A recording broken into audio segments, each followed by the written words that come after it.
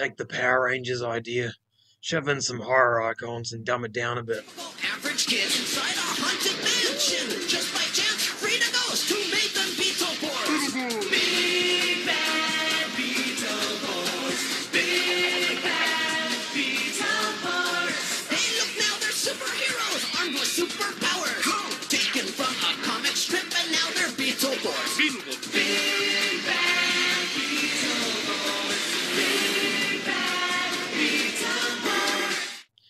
An A grade piece of shit.